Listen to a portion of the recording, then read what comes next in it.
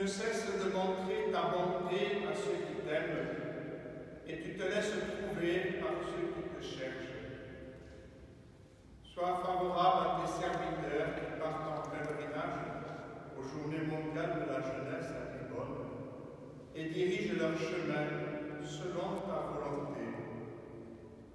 Sois pour eux un ombrage dans la chaleur du jour, une lumière dans l'obscurité de la nuit, un soulagement dans la fatigue, afin qu'ils parviennent heureusement sous ta garde, au terme de leur route, par Jésus le Christ notre Seigneur. Que le Seigneur dirige votre chemin.